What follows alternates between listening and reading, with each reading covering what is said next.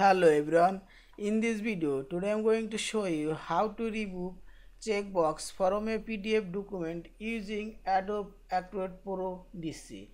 Click file option and open your PDF document. These are PDF file, that is our checkbox. And click tools option. And click prepare form. Click here this is a tool. And click right button mouse. And click delete. And also select this field and click delete button from your keyboard. Delete. This is.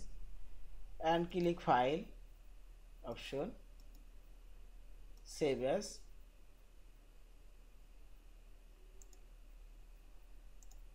This is thank you for watching. Please subscribe like share and comments